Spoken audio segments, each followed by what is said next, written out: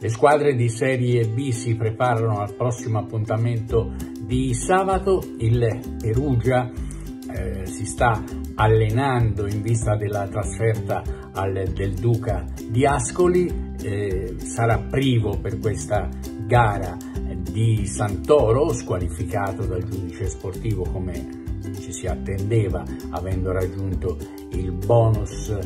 di ammonizioni ma anche la squadra bianconera sarà priva di un giocatore di livello quale Simic. Ci sono comunque buone notizie sul fronte perugino del recupero eh, di Rossi e di Curado che era stato colpito al fianco durante la partita e che era uscito anzitempo, eh, mentre l'Ascoli eh, ci presenterà non solo la novità in panchina dell'ex Roberto Breda, ma probabilmente anche di un altro ex. Parliamo di Marcello Falserano che col Perugia ha giocato più campionati,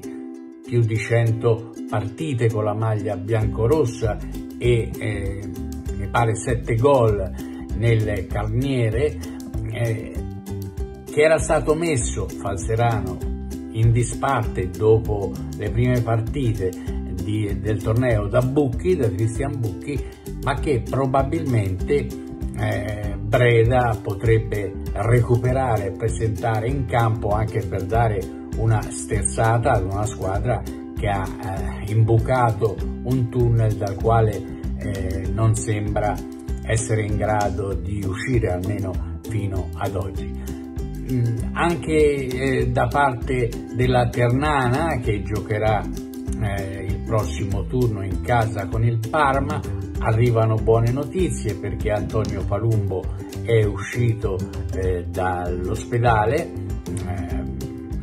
alla vigilia della partita di Cosenza era stato colpito da una colica addominale e quindi dovrebbe essere a disposizione. C'è qualche interrogativo per eh, Mantovani e per Favilli che sono stati colpiti dall'influenza, però mancano ancora eh, un paio di giorni alla vigilia della partita, per cui magari si potrebbero eh, allenare ed allenare eh, nell'ultima fase eh, di preparazione alla gara. Nella Terrana c'è qualche contrasto indiretto per la verità tra l'allenatore e il presidente, l'allenatore si era lamentato dicendo che, Perugia, che la, Terrana, la squadra rossoverde aveva segnato un record sul mercato eh, senza alcun ingresso a gennaio e il presidente ha risposto parlando con altri eh, giornalisti che eh, Andrea Azzoli ha a disposizione fior di giocatori che erano anche appetiti a suon di milioni eh, sul mercato di riparazione e che la Ternana, cioè Bandecchi, non ha ceduto proprio per mantenere inalterate le ambizioni di promozione in Serie A.